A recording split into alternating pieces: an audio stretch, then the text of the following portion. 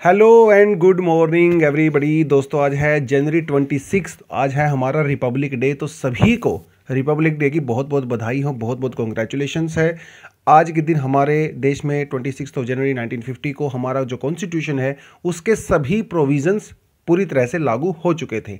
हालाँकि इसके ऊपर जो सिग्नेचर हो गए थे, वो फाइनली हमारे 26 नवंबर 1949 को हो चुके थे, लेकिन फिर भी हम लोगों ने कुछ महीने का वेट किया था, क्योंकि उसके पीछे एक हिस्टोरिकल रेलेवेंस होता है।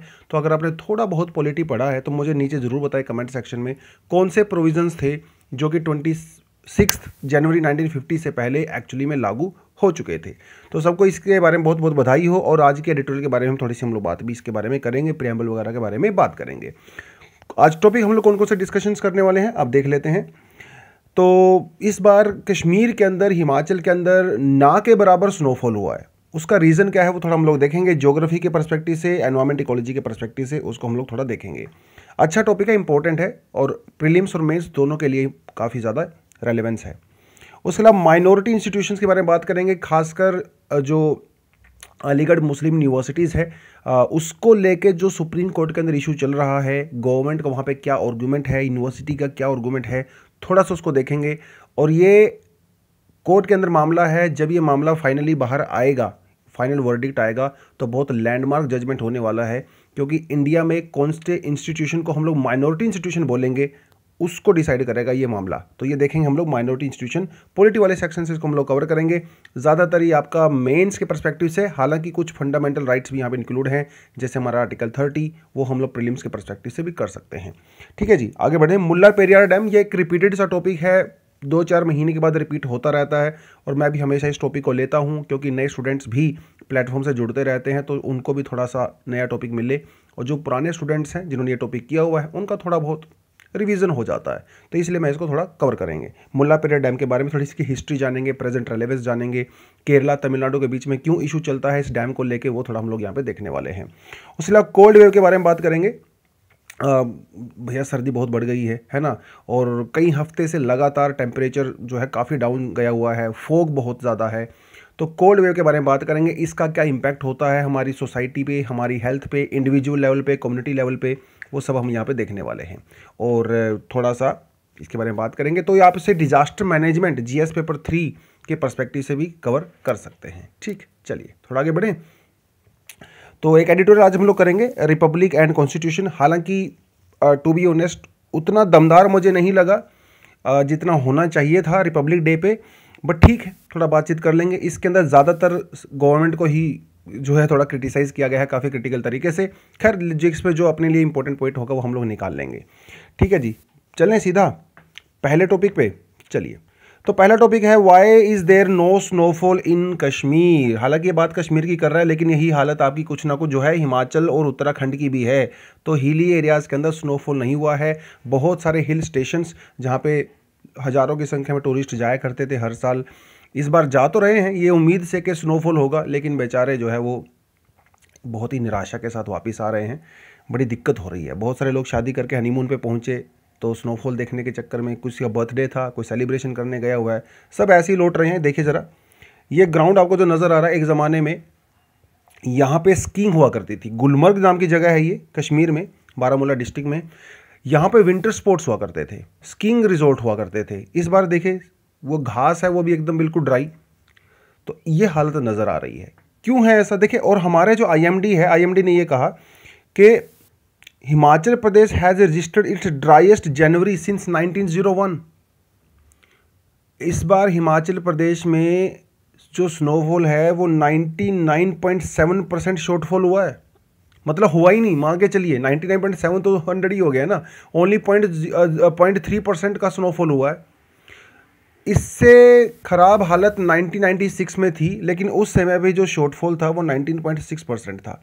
मतलब ऐसा नहीं है कि ये पहली बार हुआ है but this is a very rare event लेकिन जब आप हिस्टोरिकल परस्पेक्टिव से देखते हो तो रेयर इवेंट भी आपको काफ़ी सारे नज़र आ जाते हैं बट ऐसा कभी कभी हो सकता है।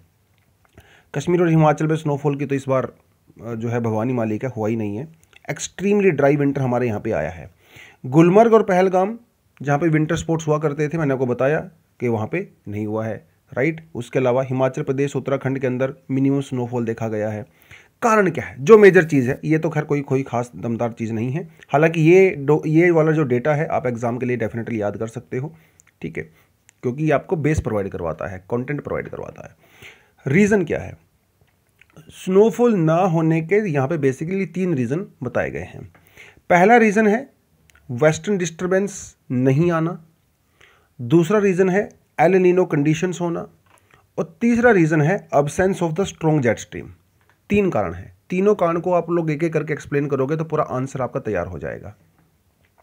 पहले देख लेते हैं वेस्टर्न डिस्टर्बेंस वेस्टर्न डिस्टर्बेंस का मतलब मतलब देखिए, वैसे तो सर्दियों में ना माहौल ठीक ठाक चल रहा होता है। है ना, लोग थोड़ा बहुत काम पे जा रहे होते हैं, मूंगफलियाँ खा रहे होते हैं, रेवड़ियाँ खा रहे होते हैं चाय वाय समोसा खा रहे होते हैं। सही सब कुछ चल रहा होता है। आप पढ़ाई कर रहे होते हो, स्कूल जा रहे होते हो। लेकिन बीच में अचानक से कुछ डिस्टर्बेंस आ जाती है। अचानक से गंगेटिक प्लेन्स के अंदर बारिश शुरू हो जाती है। तो डिस्टर्बेंस ही हुई ना। ऐसे ही हिमाचल, उत्तराखंड, कश्मीर में स्नोफॉल हो जाता है। तो ये भी डिस्टर्बेंस हुई। लेकिन ये डिस्टर्बेंस आई कहाँ से? ये इंडिया से जनरेट नहीं हुई है। ये डिस्टर्बेंस आई है, बहुत दूर मेडिटेरेनियन सी से आई है भैया। मेडिटेरेनियन सी के अंदर कुछ डिप्रेशंस क्रिएट होते हैं, कुछ साइक्लोन कंडीशंस क्रिएट होती हैं। तो वहाँ से जो साइक्लोन राइज करते हैं, वो साइक्लोन जेट स्ट्रीम की हेल्प से इंडिया की तरफ़ आते हैं ईरान को अफ़गानिस्तान को पाकिस्तान को क्रॉस करते हुए। इंडिया में आके रेनफॉल करते हैं गैंगेटिक प्लेन्स के अंदर स्पेशली यहाँ पे ज़्यादा रेनफॉल करते हैं। गैंगेटिक गैंगेटिक प्लेन्स का तो ट्वेंटी से थर्टी परसेंट जो रेनफॉल है, वो यहीं भी आता है सर्दियों में आता है, जो कि हमारी जो जो फ़सल होती है, गेहूँ की फ़सल, उसके लिए बहुत ही ज़्यादा जो है काम की चीज़ होती है। वेस्टर्न डिस्टर्बेंस जब आता है तो हिली एरियाज़ के अंदर स्नोफॉल होता है। यह एक यूजली प्रोसेस होता है। लेकिन इस बार क्या हुआ? वेस्टर्न डिस्टर्बेंस या तो आई ही नहीं अभी तक। आई है तो एक आधी आई है, वो भी बहुत मिनिमम उसकी इंटेंसिटी बहुत कम थी। तो वेस्टर्न डिस्टर्बेंस के जो स्टॉम्स होते हैं, वो मिड लैटिट्यूड रीजन्स मतलब ये बात कर रहा है मेडिटेरियन सी की, वहाँ से ओरिजिनेट होते हैं, फिर नॉर्थ इंडिया की तरफ़ आते हैं। वेस्टर्न डिस्टर्बेंस जब विंटर में आती है तो इसकी वजह से फोगी कंडीशंस क्रिएट होती हैं। फोगी कंडीशंस जब क्रिएट होती हैं तो आफ्टरनून के बाद में जो है सनशाइन ठीक ठाक आता है, जिसकी वजह से थोड़ा ग्राउंड लेवल का टेम्परेचर इंप्रूव हो जाता है। देखिए, जब फोगी कंडीशन नहीं होती राइट तो तब हमारा ग्राउंड एक्सट्रीमली एक्सट्रीमली कोल्ड हो जाता है। क्योंकि जो टेरेस्ट्रियल रेडिएशंस हैं, वो सारी के सारी स्पेस में चली जाती हैं और हमारा सरफेस एक्सट्रीमली कोल्ड हो जाता है। लेकिन जब फोगी कंडीशंस होती हैं तो कुछ हीट एटमोसफेयर के अंदर ट्रैप हो जाती है, जिसकी वजह से टेम्परेचर एक्सट्रीमली कोल्ड नहीं हो पाता। ये इसका मामला कहना है। तो वेस्टर्न डिस्टर्बेंस की वजह से वो जो मॉइस्चर आता है, उस मॉइस्चर की वजह से थोड़ा सा टेम्परेचर ठीक ठाक सा हो जाता है। ये इसका कहना है। हालाँकि इसके काउंटर आर्ग्यूमेंट भी है, लेकिन फ़िलहाल आप इसको ही मान के चलें। They also when the temperature are low result in the snowfall ठीक है? तो मैंने आपको बताया कि हिली एरियाज़ के अंदर स्नोफॉल आता है।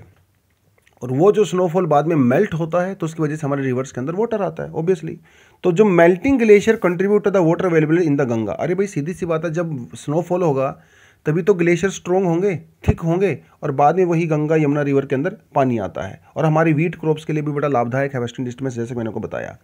यूजली क्या होता था जनरली दिसंबर और जनवरी के महीने में five to seven western disturbance आ जाया करते थे. लेकिन इस बार एक भी नहीं आया है। एक छोटा सा आया था, लेकिन इसका कोई खास रेलिवेंस था नहीं। There were two western defence this period but अच्छा जो वेस्टर्न डिस्टर्बेंस आया भी है ना, एक छोटा सा आया, एक थोड़ा सा हल्का सा बड़ा आया था। ये वेस्टर्न डिस्टर्बेंस गंगेटिक प्लेन की बजाय गुजरात नॉर्थ महाराष्ट्र ईस्ट राजस्थान और मध्य प्रदेश के अंदर थोड़ा बहुत रेनफॉल करके चले गए। गंगेटिक प्लेन सूखे ही रह गए, कश्मीर सूखा ही रह गया, हिमाचल, उत्तराखंड सूखा ही रह गया। ये दिक्कत है। पहला है वेस्टर्न डिस्टर्बेंस का ना आना और अगर आ भी रहे हैं तो वो वहाँ पे नहीं आ रहे हैं, जहाँ पे यूजली आया करते थे। तो एक तो ये रीज़न हो गया। दूसरा एलिनो अरे एलिनो का मतलब ही होता है कि हमारा जो पैसिफिक ओशन है, वो वार्म हो गया है। और भैया, जब पैसिफिक ओशन गर्म हो जाएगा तो उसका इम्पैक्ट क्या इंडिया पे नहीं पड़ेगा? हंड्रेड पड़ेगा।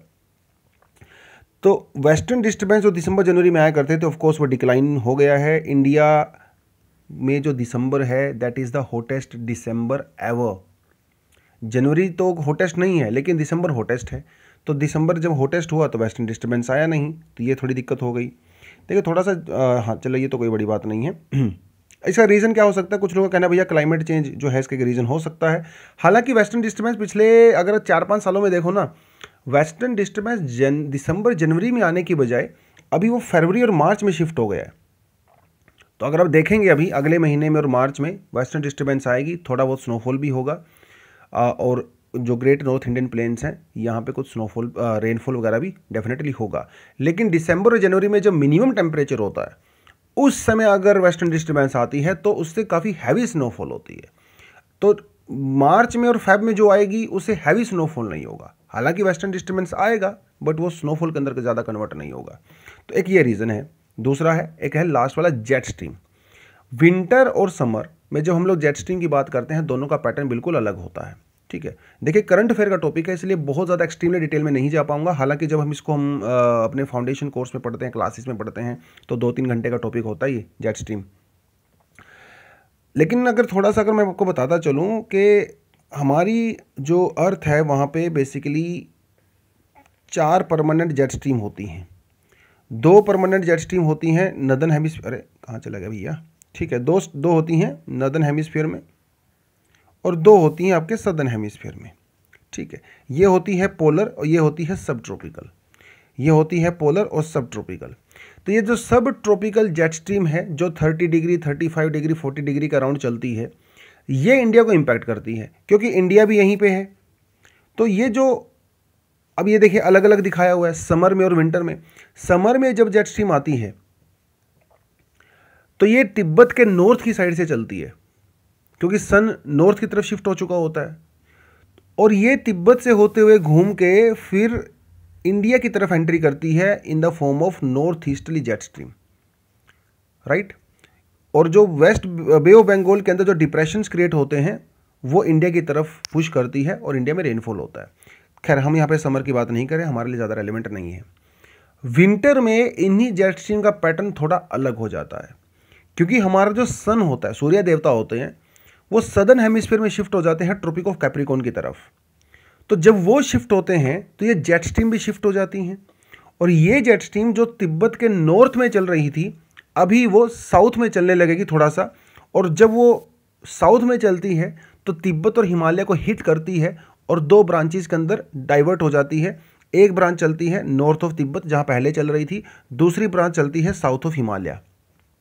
तो गैंगेटिक प्लेन्स की बात कर रहा हूँ बेसिकली मैं।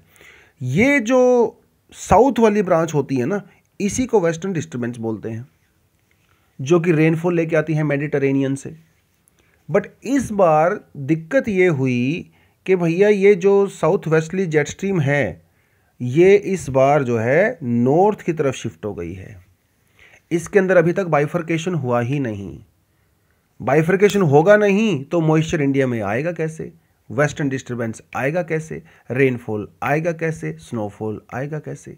ये एक रीज़न यहाँ पे नज़र आता है। जेट स्ट्रीम क्या होता है आपको बहुत अच्छे से पता, अगर आपने थोड़ा बहुत एनसीईआरटी e पढ़ा है अपर एटमोसफेयर में nine ten eleven twelve thirteen kilometre उस हाइट पे जाके जो है, बहुत फास्ट हाई वेलोसिटी विंड चलती हैं। 250, 320, 400 किलोमीटर पर आवर तक की स्पीड इसकी हो सकती है। तो ये मेडिटेरेनियन ओशन से लेके आती है मॉइस्चर और इंडिया में आके जो है उसको रेनफॉल करती हैं। दैट्स इट इस बार नहीं हो पाया क्योंकि ये नॉर्थवर्ड शिफ्ट हो गया है। ये तीन रीज़न है जिसकी वजह से स्नोफॉल नहीं हुआ। है इसका एक रीज़न ये भी हो सकता है कि हमारे जो आर्कटिक सी है वो गर्म हो रहा है जिसकी वजह से हमारी जो जेट स्ट्रीम है नॉर्थ की तरफ़ शिफ्ट हो रही है। और भैया जब नॉर्थ की तरफ़ शिफ्ट होगा तो ये सदर्न ब्रांच तो गायब हो जाएगी ना? तो ये गायब हो जाएगी तो बनेगा नहीं। सीधी सी बात है। तो तीन रीजन है जो इसने बताए हैं। एलेनिनो ठीक है which is warming of the Pacific Ocean jet stream northward shifting of the jet stream that is second reason and your western disturbance absence of western disturbance specially in the month of December and January but yes there can be some western disturbance phenomenas in next few two months but that will not include uh, maybe snowfall हो अगर थोड़ा बहुत snowfall होगा भी तो may be it would not be that way huge but yes that can be there ठीक है चलो। Next article that we have is what is the legal dispute over A M U's minority status तो actually last week भी we try to cover this topic but there were not enough details लेकिन इस बार थोड़ी detail आ गई है तो let's cover this पहली बात तो ये है कि भाई what is the criteria to declare an institution as a minority institution ये एक बहुत बड़ी बात है। और इसका आंसर हमारे कॉन्स्टिट्यूशन के अंदर आपको ठीक ठाक मिल जाता है। आर्टिकल थर्टी वन क्या कहता है? कहता है that all religious and linguistic minority ध्यान देना है, हमारे कॉन्स्टिट्यूशन के अंदर सिर्फ़ रिलीजियस माइनॉरिटी ही नहीं लिंग्विस्टिक माइनॉरिटी की बात भी करता है। तो ऐसी कोई भी कम्युनिटी जो रिलीजियसली और लिंग्विस्टिकली माइनॉरिटी है, अब माइनॉरिटी मतलब less than fifty percent minority का मतलब दो, तीन, चार, पाँच परसेंट नहीं होता। अगर आप फिफ्टी परसेंट से कम हो, भैया आप माइनॉरिटी में हो। All religious and linguistic minorities with a fundamental right भैया, उनका एक मूल अधिकार है फंडामेंटल राइट right है to establish and administer educational institution of their choice वो जैसा मर्ज़ी चाहें, अपने हिसाब से, अपनी खुद की कम्युनिटी के लिए, उसकी ग्रोथ के लिए, उसके कल्चर को प्रोटेक्ट करने के लिए लैंग्वेज को प्रोटेक्ट करने के लिए अपना एक अलग से एजुकेशनल इंस्टीट्यूशन खोल सकते हैं, जहाँ पे वो अपनी कम्युनिटी के लोगों को एजुकेट करेंगे। ये है बेसिकली पूरा मामला। ठीक है, अब देखिए ज़रा, इसी का क्लोज टू क्या कहता है? आर्टिकल का। The state maintains equality of treatment in granting aid to all education institutions irrespective of their minority status ठीक है जी? तो सरकार जो है, वो सभी को इक्वल तरह से ट्रीट करेगी। डजेंट मैटर कि वो माइनॉरिटी इंस्टीट्यूशन है या नॉन माइनॉरिटी है राइट अब देखिए ज़रा, क्योंकि ये माइनॉरिटी इंस्टीट्यूशन है, किसी स्पेसिफिक माइनॉरिटी के लिए बनाए गए हैं, चाहे वह लिंग्विस्टिक हो, चाहे रिलीजियस हो, इसका मतलब इनको कुछ स्पेशल अधिकार होंगे जो नॉर्मल इंस्टीट्यूशंस को नहीं होंगे। क्या है वो अधिकार? देखिए ज़रा एक तो यहाँ पे जो एस सी रिजर्वेशन है, वो यहाँ पे काम नहीं करेगा। सीधी सी बात है, क्योंकि ये स्पेशल है। दूसरी बात, ये जो एजुकेशन इंस्टीट्यूशन है, वो सिर्फ़ हायर लेवल पे ही नहीं primary level secondary level professional education सभी में लागू होगा। उसके अलावा, इसकी जो 50 परसेंट सीट्स हैं, ठीक है, वो अपनी कम्युनिटी के लिए रिज़र्व कर सकते हैं। इवन इनके जो एम्प्लॉयज़ हैं जो वहाँ पे काम करते हैं, उनको लेके भी ये कुछ खास रूल्स बना सकते हैं। अगर वो चाहें कि भैया ये एम्प्लॉय हमारी कम्युनिटी से ही आए तो आ सकते। कोई दिक्कत नहीं है। ये मामला जो है पूरे का पूरा चल रहा था। अब देखिए, एक केस आया था सुप्रीम कोर्ट का 2002 के अंदर, जिसमें सुप्रीम कोर्ट ने यह कहा that minority is to be determined by the concern states demography not the national population अब जैसे मान लो उत्तर प्रदेश के अंदर एक माइनॉरिटी इंस्टीट्यूशन है, किसी पर्टिकुलर रिलीजियस ग्रुप का तो ये जो माइनॉरिटी डिक्लेयर नेशनल लेवल के हिसाब से नहीं है स्टेट के हिसाब से होगा। जैसे मान लो अगर आप नॉर्थ ईस्ट इंडिया की बात करें तो वहाँ पे कई सारे स्टेट्स ऐसे हैं, जहाँ पे Christianity more than fifty percent population है। तो वहाँ पे क्रिश्चियनिटी जो है वो मेजोरिटी में है। अगर तो क्या वहाँ पे क्रिश्चियंस नॉर्थ ईस्ट के अंदर एजुकेशन इंस्टीट्यूशन सेटअप कर सकते हैं by taking the advantage of article thirty answer is no तो क्रिश्चियंस चाहे वो इंडिया के अंदर माइनॉरिटी में हो लेकिन उस पर्टिकुलर स्टेट में तो नहीं है ना? ये बड़ी इंपॉर्टेंट बात है और ये 2002 के अंदर सुप्रीम कोर्ट ने एक वर्डिट के अंदर बताया था। ठीक है? थोड़ा सा ए की क्योंकि मामला ए का है अलाहाबाद अलीगढ़ मुस्लिम यूनिवर्सिटी तो इसको हल्का सा इसका हिस्टोरिकल परस्पेक्टिव देख लेते हैं। ज़्यादा इंपॉर्टेंट नहीं है बट थोड़ा बहुत हिस्ट्री के परस्पेक्टिव से। So so, Aligarh Muslim University को सेटअप किया गया था और इसको सेटअप करने का ये पर्पज़ था कि जो बैकवर्डनेस है मुस्लिम कम्युनिटी में, है ना प्रोफेशनल एजुकेशनल सोशल उसको थोड़ा सा इम्प्रूव किया जाए और मॉडर्न एजुकेशन जो है मुस्लिम कम्युनिटी के जो है स्टूडेंट्स जो हैं उनको दिया जाए। ये बेसिकली इसका मेन पर्पज़ था। और इसको फिर बनाया गया बाद में। फिर अलीगढ़ मुस्लिम यूनिवर्सिटी एक्ट 1920 याद करिए वो ब्रिटिश, ब्रिटिशर्स का ज़माना है तो इन्होंने जो है माओ कॉलेज और मुस्लिम यूनिवर्सिटी एसोसिएशन को भी एम के अंदर इंक्लूड कर दिया। हालाँकि उसके बाद थोड़े इसके अंदर चेंजेस किए गए। 1951 में जो है, अलीगढ़ मुस्लिम यूनिवर्सिटी को एक रिलीजियस एजुकेशन फॉर मुस्लिम्स जो है, उसको डिक्लेयर कर दिया गया और फाइनली इसको as a minority institution declare कर दिया गया। 1951 एक्ट मुस्लिम यूनिवर्सिटी को अलीगढ़ मुस्लिम यूनिवर्सिटी को एक माइनॉरिटी इंस्टीट्यूशन डिक्लेयर करता है। तो कानून ने इसको डिक्लेयर किया हुआ है, पहली बात तो ये है। 1965 के अंदर भी थोड़ा बहुत इसके अंदर चेंजेस वगैरह हुए, इसके अंदर जो है जो एग्जीक्यूटिव हैं उसकी थोड़ी पावर बढ़ा दी गई गवर्नमेंट ऑफ़ इंडिया का थोड़ा यहाँ पे इंक्लूड किया गया, वो सब भी होता है। और ए को काफ़ी ज़्यादा फंडिंग जो एड है, वो सेंट्रल गवर्नमेंट से आती है अराउंड पंद्रह सौ करोड़ के आसपास। ये सरकार ने अभी जो है कोर्ट के अंदर बताया है बेसिकली ठीक है। उसके अलावा 1967 में फिर एक केस आया जिसे जो है एस अज़ीज़ बादशाह केस कहते हैं अगेंस्ट यूनिवर्सिटी ऑफ़ इंडिया। इस केस में अंदर एक्चुअली uh, 1951 और 1965 के जो अमेंडमेंट है उनको चैलेंज किया गया था और इस केस में ये कहा गया था कि साहब ये माइनॉरिटी इंस्टीट्यूशन है सरकार को इससे बाहर रहना चाहिए।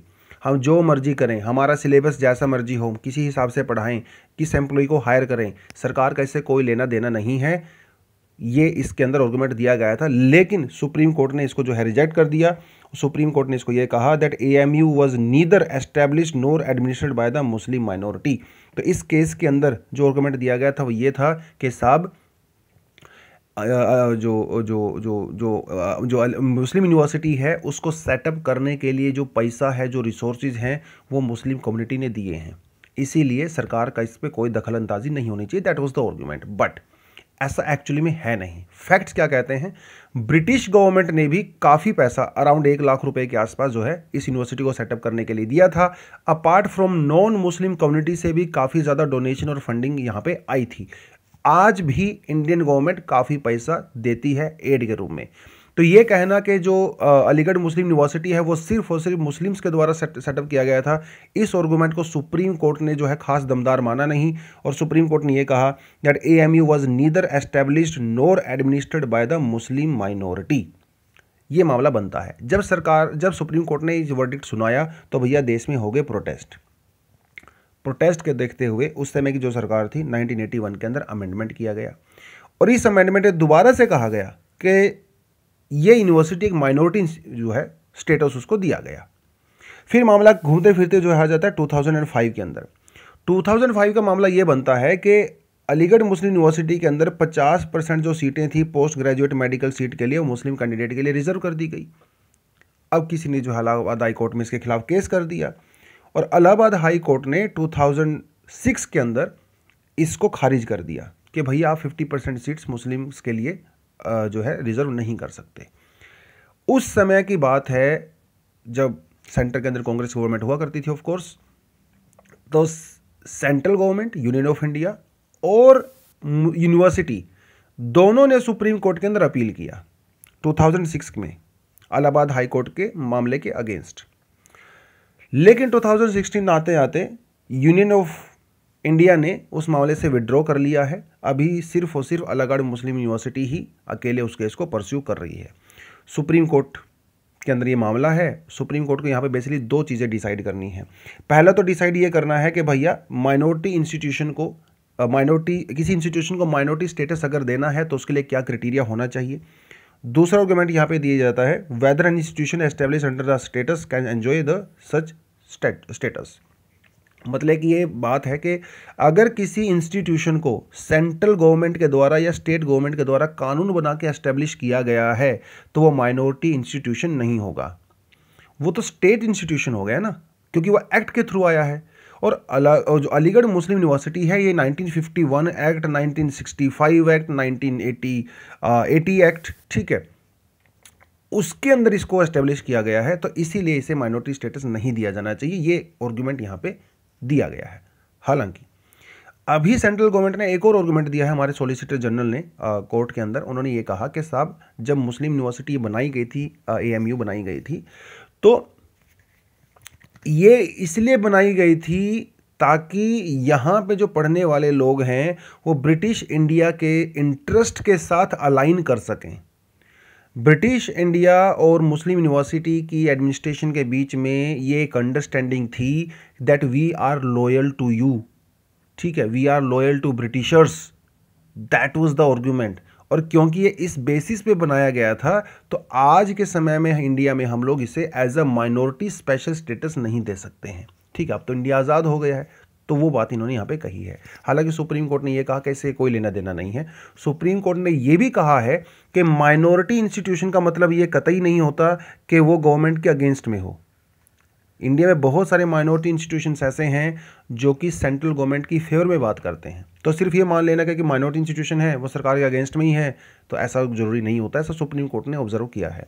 तो ये कुछ आर्गूमेंट इस समय सुप्रीम कोर्ट में चल रहे हैं। लेट सी आगे कहाँ तक जाते हैं। और क्या इसका वर्डिक्ट आता है that would be very interesting to see तो उस दिन का हम लोग वेट कर लेते हैं फ़िलहाल के लिए। ठीक है? चलिए। नॉर्थ इंडिया में भाई भयंकर कोल्ड वेव चल रही है, शीत लहर चल रही है, कई लोगों की डेथ भी हो गई अनफॉर्चुनेटली हर साल ही होता है।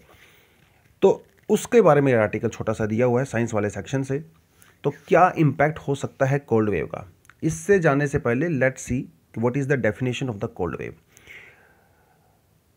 cold wave की डेफिनेशन अगर हम लोग आईएमडी की बात करें इंडियन मेट्रोलॉजिकल डिपार्टमेंट की बात करें तो वो कैसे डिफाइन करता है? वो कहता है कि भाई cold wave when the minimum temperature is less than equal to zero four degree centigrade ठीक है? मतलब फोर डिग्री सेंटीग्रेड से कम या बराबर टेम्परेचर होता है तो इसे आप कोल्ड वेव कह सकते हो।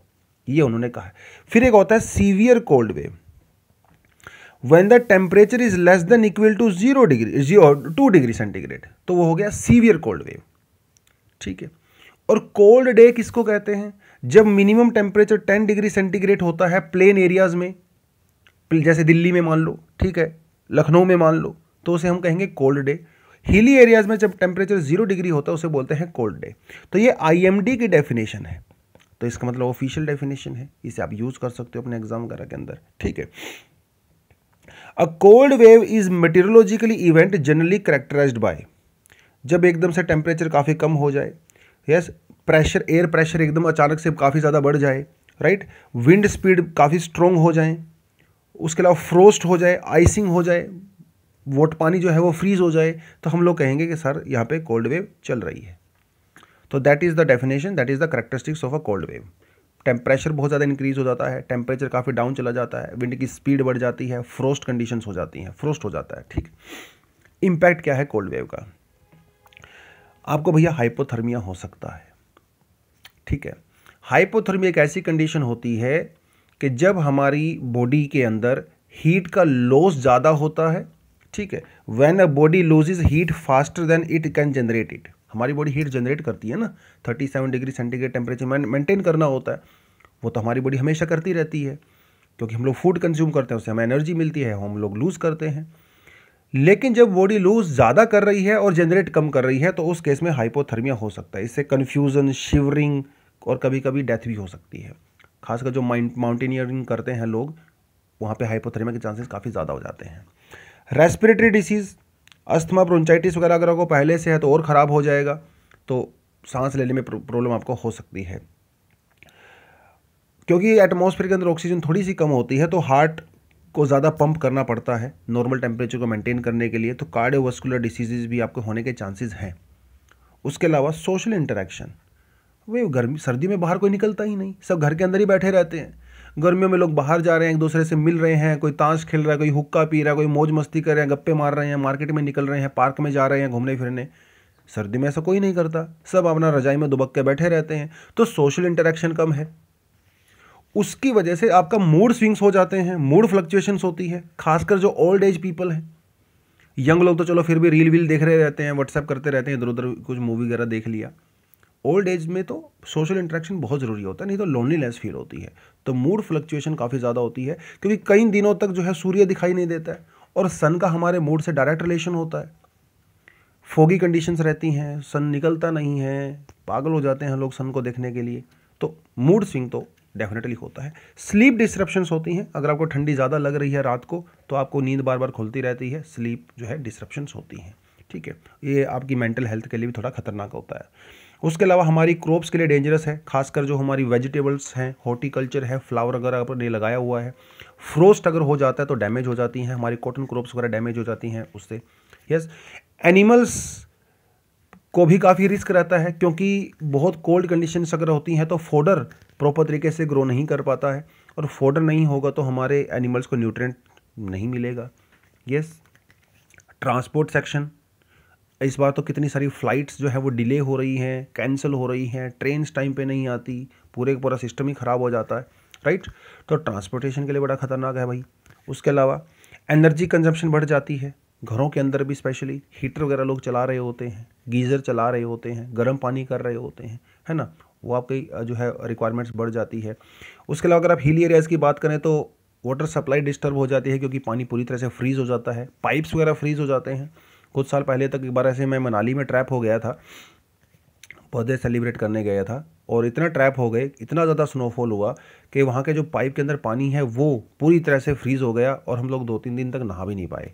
तो दैट वाज द सिचुएशन और ऐसा हो सकता है हिली एरियाज़ में और रेगुलरली होता भी है, ठीक है? तो ये कुछ इश्यूज़ हैं कोल्ड वेव को लेके और आई थिंक ठीक ठाक अभी आपको समझ आ गया होगा। Then we have a topic called Mullaperiyar dam. तो एक तो आपको ये पता होना चाहिए कि मुल्लार पेरियार डैम है कहाँ? ठीक है? इसकी लोकेशन क्या है? वो भी बड़ी इंटरेस्टिंग है लोकेशन ये ना बहुत पुरानी कहानी है। और ये कहानी अंग्रेज़ों के ज़माने की है भैया। और बात ऐसी है कि एक डैम बनाया गया केरला के अंदर। ठीक है? डैम तो बना केरला में है, लेकिन इसको मैनेज कौन करता है? तमिलनाडु इसको मैनेज करता है। कौन करता है? तमिलनाडु इसको मैनेज करता है। 999 ईयर्स के लिए 1886 में इसको लीज पे लिया गया था मतलब हज़ार साल के लिए लगभग इसको लीज पे लिया गया था। और ये एक डील हुई थी between Maharaja of Travancore and secretary of state of for India for the Periyar irrigation works. तो उस समय केरला को ट्रेवनकोर हम लोग बोला करते थे, उसके महाराजा के बीच में और इनके बीच में हुआ था। अंग्रेज़ों को लगा था कि अरे, इंडिया तो हमारा ही है, इंडिया कहाँ जाने वाला है? ये तो हज़ारों, लाखों साल तक हमारा ही रहेगा। तो उन्होंने हज़ार साल की डील कर लिया। उनको ये नहीं पता था कि थोड़े दिन में तुम्हें जो है यहाँ से भगाने वाले हम लोग। बट एनी वो डील आज भी रही और तमिलनाडु इसको मैनेज करता है, बना हुआ यह केरला में है। ठीक है, और यहाँ पे देखिए ज़रा, ये है आपका इडुकी डैम और ये आपका पेरियार डैम। तो पेरियार डैम के वहाँ पे जो बनी हुई है लेक, उसे पेरियार लेक कहते हैं और जो पेरियार नेशनल पार्क है, वो भी यहीं पे है।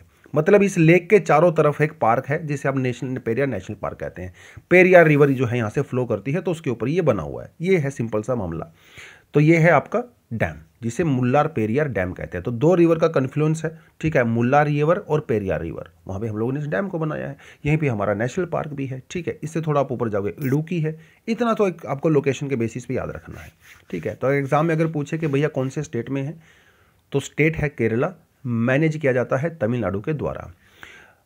अब, क्योंकि ये बहुत पुराना डैम है, और ये एक मैशनरी ग्रेविटी डैम है, ठीक है कंक्रीट वगैरह का यूज़ करके इसको बनाया गया है। Bricks and concrete. उस समय में इसी चीज़ से बनाया करते थे, उस ज़माने में, क्योंकि ये टेक्नोलॉजी सस्ती पड़ती है।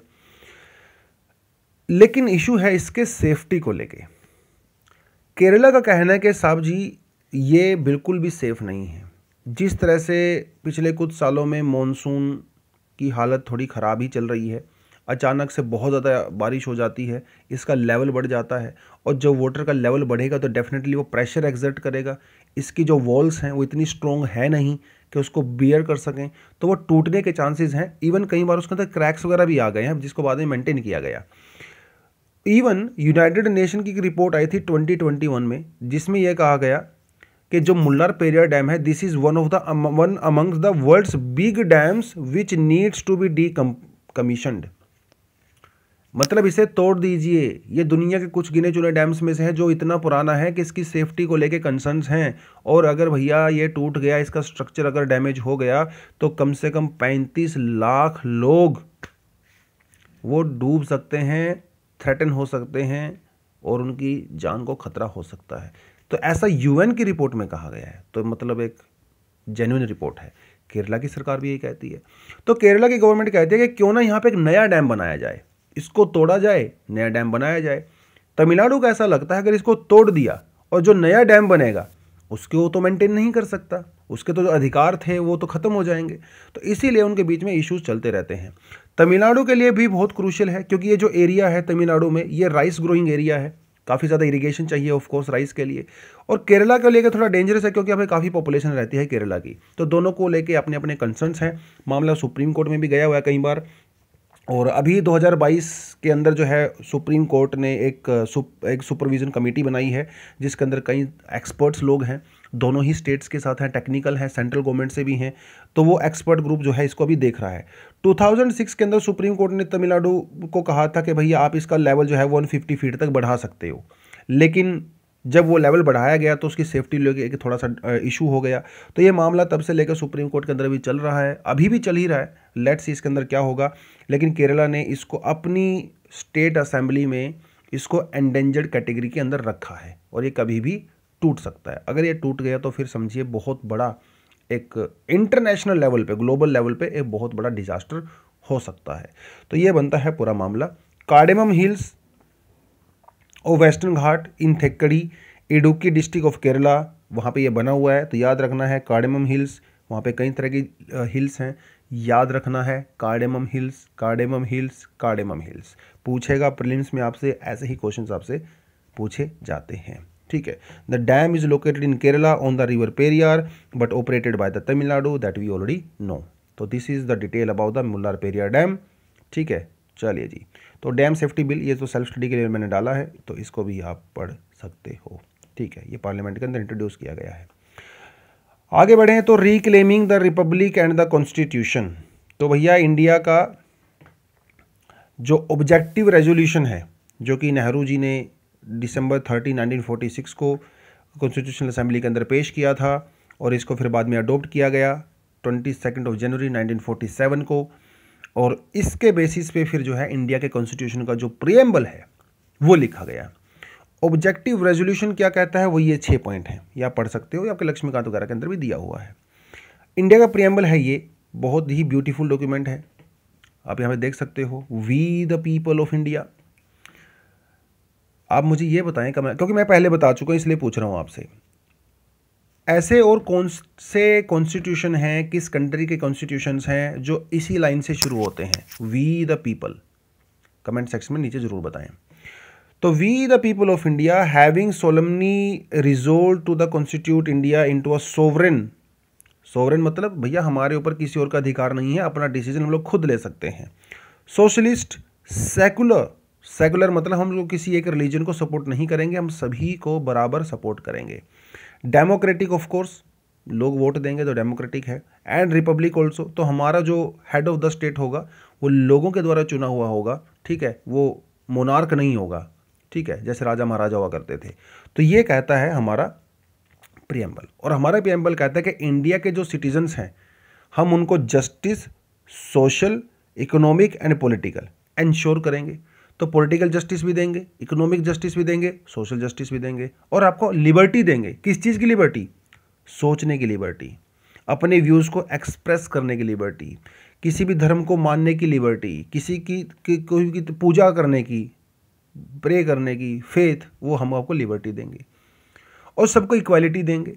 किस चीज़ की इक्वालिटी देंगे? स्टेटस की इक्वालिटी अपॉर्चुनिटी सब बराबर हो भैया। कोई बड़ा छोटा नहीं है। सबको बराबर अपॉर्चुनिटी मिलनी चाहिए। यस ये हम लोग आपको इक्वालिटी देंगे। और सभी लोगों के बीच में, मन में फ्रेटर्निटी भाईचारे की भावना वो होनी चाहिए। हर कोई इंडिविजुअल चाहे गरीब हो, अमीर हो डजेंट मैटर एक डिग्निटी होती है एक इंडिविजुअल की, उसकी एक सेल्फ रिस्पेक्ट होती है, उसका हम लोग आदर करेंगे। इंडिया की जो यूनिटी है इंटीग्रिटी है, हमारी जो एकता है, उसको भी हम लोग पूरी तरह से पालन करेंगे। ये इसके अंदर कहा गया था। ये इंडिया के लोगों ने खुद से वादा किया इंडिया के लोगों ने दुनिया को बताया, देखिए भैया, हम अपने नेशन को इस तरह से रूल करेंगे, इस तरह से चलाएँगे आने वाले समय में। और ये सब करने के बाद हम लोगों ने अपने सिग्नेचर कर दिए ट्वेंटी सिक्स ऑफ़ जन नवंबर 1949 को। अब आम आदमी तो सिग्नेचर नहीं कर सकता तो कौन करेंगे? उनके रिप्रेजेंटेटिव करेंगे, ठीक है? तो ये इसके सिग्नेचर यहाँ पे किए गए थे, लेकिन फिर भी हम लोगों ने ट्वेंटी सिक्स ऑफ़ जनवरी 1950 का जो है दो तीन महीने का वेट किया था। वो क्यों किया था, वो आपको अच्छे से पता ही है, ठीक है? वो बहुत हिस्टोरिकल इवेंट है ट्वेंटी सिक्स ऑफ़ जनवरी ठीक? ये जो है, थोड़ा सा आर्टिकल का एक जिस्ट है। But article is different article लिखा गया है अरुणा रॉय जी के द्वारा। ये एक सोशल एक्टिविस्ट हैं और, काफ़ी ज़्यादा एक्टिव रहती हैं specially against this particular government क्योंकि इनका ये कहना है कि ये जो पर्टिकुलर गवर्नमेंट है, उसको सेकुलरिज्म से कोई लेना देना नहीं है। ये सिर्फ़ हिंदुत्व की बात करती है, सिर्फ़ हिंदूज़ की बात करती है, सिर्फ़ मेजोरिटी पॉपुलेशन की बात करती है। इनका ये कहना है। इनका यह कहना है कि माइनॉरिटी की कोई रिस्पेक्ट नहीं है माइनॉरिटी को डराया जाता है, धमकाया जाता है। तो ये हमारे प्रियम्बल के अगेंस्ट में है, ऐसा अरुणा जी का मानना है। ठीक है, आप माने या ना माने, वो आपका व्यू हो सकता है, लेकिन अरुण जी का ऐसा मानना है। तो इस आर्टिकल के अंदर जो भी चीज़ें दी हुई हैं, उसे फेस वैल्यू पे नहीं जाएँगे, क्योंकि काफ़ी क्रिटिकल हैं गवर्नमेंट की। लेकिन कुछ तो पॉइंट हम लोग डेफिनेटली देख ही सकते हैं। एज अ यूपीएससी आस्पिरेंट तो ऑब्जेक्टिव रेजोल्यूशन मैंने आपको बता ही दिया, जो कि बाद में प्रियम्बल का जो है वो बेस बना। अब बात यहाँ पे आती है मल्टी डायमेंशनल की। ठीक है इंडिया एक ऐसा कंट्री है जो कि सेकुलर है मल्टी है मल्टी रिलीजियस है है ना? और multilingual multi religious multicultural society तभी थ्राइव कर सकती है जब उसके अंदर टॉलरेंस हो। ठीक है, हम कोई थियोक्रेटिक नहीं है, हम कोई धार्मिक स्टेट नहीं है। ठीक है, यहाँ पे कोई मेजोरिटी कोई माइनॉरिटी नहीं है। ठीक है, यहाँ पे सब बराबर हैं। तो एक यूनी डायमेंशनल स्टेट बनाया जा रहा है मल्टी डायमेंशनल की बजाय। एक ही लाइन में सोचा जा रहा है, और वो लाइन है हिंदुत्व, ऐसा अरुणा जी का मानना है। इनका कहना है कि भैया डाइवर्सिटी की कोई रिस्पेक्ट नहीं है, ठीक है। टॉलरेंस क्या होती है तो हमें पता ही नहीं है छोटी छोटी बात पे गुस्सा हो जाते हैं, नारे लगाने लगते हैं, सड़कों पे आ जाते हैं, ऐसा इनका कहना है। तो इनका यह कहना है कि जो यूनिटी इन डाइवर्सिटी जो बचपन से हम लोग बोलते आ रहे हैं बहुत पुराने ज़माने से, इनका कहना है कि आज के समय में ये डेंजर है। आज के समय में कोई डाइवर्सिटी मान ही नहीं रहा है। सब कह रहे हैं एक ही है। One nation one market one colour one language one election one official religion सब एक ही की बात कर रहे हैं। कहाँ गए अब unity in diversity diversity word तो आपने खा गए। ऐसा इनका कहना है। ठीक है। सो so, उसको फिर आगे बढ़ाते हुए जो है इन्होंने फेथ पे थोड़ी बात की है वर्शिप पे इन्होंने बात की है क्योंकि इंडियन प्रियम्बल तो ये अलाउ करता है कि आप जो मर्ज़ी फेथ पे बिलीव करें जिस मर्ज़ी की वर्शिप करें वो आपका इंडिविजुअल एक राइट है उसे कोई छीन नहीं सकता स्टेट नहीं छीन सकता कोई इंडिविजुअल नहीं छीन सकता है ना? आप क्या लैंग्वेज बोलें क्या फ़ूड पहन खाएँ क्या कपड़े पहने वो आपकी मर्ज़ी है। और ये हमारा एक हेरिटेज है जिसके ऊपर हमें प्राउड फील करना चाहिए। लेकिन ये जो हमारा नेशनल हेरिटेज है, हिस्टोरिकल हेरिटेज है, इसके ऊपर थोड़ा सा फ़िलहाल डेंजर चल रहा है, क्योंकि गवर्नमेंट डाइवर्सिटी को मानती ही नहीं वो one colour, one religion, one nation, one thought, one god उसकी बात कर रही है। ऐसे इनका कहना है। तो थोड़ा सा क्रिटिकल तो है ऑफ़ कोर्स गवर्नमेंट के राइट उसके अलावा थोड़ा आगे बढ़ें। तो डाइवर्सिटी का इंडिया में बहुत मज़ेदार चीज़ है। जैसे अगर हम लोग दशहरे की बात करें फेस्टिवल्स की बात करें तो इंडिया में एक ही तरह का फेस्टिवल अलग अलग तरीके से सेलिब्रेट किया जाता है और यही हमारी ब्यूटी भी है, हमारे देश की। यस जैसे इन्होंने यहाँ पे एग्जांपल कुछ दिया है, जैसे दुर्गा पंडाल, ठीक है, तमिलनाडु में नवरात्रि, ठीक है नॉर्थ इंडिया में दशहरा, रामलीला, ये सब की जाती हैं। हालाँकि एक रिलीजन एक कॉमन फैक्टर है ऑल ओवर इंडिया लेकिन उसकी प्रैक्टिसेस भी डिफरेंट हैं। क्योंकि हिंदूज़ की कोई ऐसी स्पेसिफिक बुक नहीं है, कोई कमांडमेंट्स नहीं है आप जो मर्ज़ी करें, उसको फॉलो करें it's kind of way of life ठीक है, कुछ लोग कहते हैं कि हिंदू रिलीजन है ही नहीं, ये तो वे ऑफ़ लाइफ है। हर कोई अपने अपने तरीके से जी सकता है। आप किसी को भी गॉड मान सकते हो, किसी को भी पूजा कर सकते हो। हर किसी का इंडिविजुअल गॉड होता है, आपके गाँव में, आपकी कम्युनिटी में, है ना? एक पैन गोड होता है। अब कुछ भी करिए मैं तो बहुत सारी लिबर्टी देता है। ऐसा इनका कहना है कि यही एक इसकी डाइवर्सिटी ही इसकी ब्यूटी है। लेकिन अगर आप किसी एक गोड के नाम पे किसी एक टेंपल के नाम पे आप डाइवर्सिटी को ख़त्म कर रहे हो तो बेसिकली आप इंडिया के नेशनल हेरिटेज को ख़त्म कर रहे हो, ऐसा इनका कहना है। और ये इन्होंने डायरेक्ट जो रेफरेंस दिया है, वो अभी राम टेंपल का भी दिया है। तो India being a secular state ठीक है? और उम्मीद की जाती है कि हमारे जो पॉलिटिशियंस हैं, वो बहुत ज़्यादा स्टेट लेवल पे रिलीजियस फ़ंक्शंस के अंदर पार्टिसिपेट ना करें। आप इंडिविजुअल लेवल लेवल पे कर सकते हो, कोई दिक्कत नहीं है, वो आपका पर्सनल मैटर है। बट जब आपकी पॉलिटिकल लाइफ होती है, जब आप एक राजनेता बन जाते हो, तब आपको ये इंश्योर करना पड़ता है कि सभी रिलीजन को, सभी कम्युनिटीज़ को इक्वली ट्रीट किया जाए बिकॉज़ वो हमारे प्रियम्बल की डिमांड है। हमारा प्रियम्बल हमसे वो चाहता है, हमसे करवाना चाहता है और आपको करना भी चाहिए, ठीक है? Because India is a secular state और ये हमारा बेसिक स्ट्रक्चर भी है। तो ये आपकी सिर्फ़ ज़िम्मेदारी ही नहीं है, बल्कि आपसे ऐसी उम्मीद भी की जाती है, आपका अधिकार है, आपको ऐसा करना चाहिए। लेकिन इनका कहना है कि भैया, जिस तरह से राम टेंपल को लेकर पूरा पॉलिटिकल इश्यूज़ जो है वो बनाया गया तो ये कहीं ना कहीं पॉलिटिक्स और रिलीजन का मिक्सचर है। तो पॉलिटिकल रिलीजन का मिक्सचर तो खैर इंडिया में हमेशा से ही रहा है, लेकिन इतना ज़्यादा इंटीग्रल कर देना उसको, ये कहीं ना कहीं एक सही रास्ता नहीं है, ऐसा इनका कहना है। और यही कुछ विचार बी आर अंबेडकर जी के भी थे, ठीक है? यही कुछ विचार जो है बी आर अंबेडकर के साथ साथ बहुत सारे जो कॉन्स्टिट्यूशन असेंबली के अंदर मेंबर्स थे, उनके भी थे।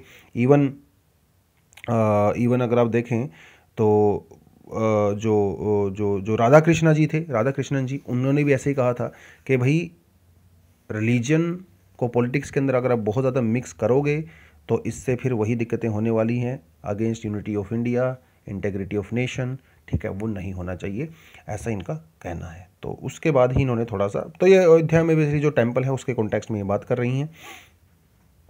और ये कुछ कुछ चीज़ें इन्होंने यहाँ पे कही हैं। तो इनका कहना है कि, देखिए यार पॉलिटिकल पार्टी तो political parties are not permanent right आएँगी, जाएँगी, लेकिन नेशन इज़ ऑलवेज देयर और नेशन तभी रह सकता है जब उसके अंदर टॉलरेंस रहे, ठीक है? एक दूसरे के लिए कोई रिस्पेक्ट रहे तो एक पॉलिटिकल पार्टी अगर इस तरह की चीज़ें करेगी तो हमारे फ्यूचर को लेकर फ्यूचर जनरेशन को लेकर भी खतरा है, ऐसा इनका कहना है, ठीक है? तो इस कॉन्टेक्स्ट में थोड़ा इसको हम लोग एंड करते हैं, हालाँकि काफ़ी पॉलिटिकल सा है और काफ़ी क्रिटिकल है गवर्नमेंट के, लेकिन यस प्रियम्बल के कॉन्टेक्स्ट में आप डेफिनेटली देख सकते हो being a citizen of India being UPSC aspirant being a responsible citizen हमारा इंडिविजुअल लेवल पे कम्युनिटी लेवल पे यह फ़र्ज़ बनता है कि हम इन वैल्यूज़ की रिस्पेक्ट करें, जो हमारा कॉन्स्टिट्यूशन कहता है, जो हमारा प्रियम्बल कहता है। क्योंकि सोसाइटी अगर इस हिसाब से चलेगी तो एक बेटर और स्टेबल सोसाइटी होगी। ठीक है? चलिए तो इसी के साथ एंड करते हैं। सभी को फिर से हैप्पी रिपब्लिक डे और कुछ एडिशनल आर्टिकल है, पढ़ना चाहो तो पढ़ सकते हो। हालाँकि मुझे कुछ खास दमदार लगे नहीं बट ठीक है। आज हम यहीं पे समाप्त करते हैं इस सभा को। ठीक है? Thank you very much all the best जय हिंद, जय जवान, जय किसान।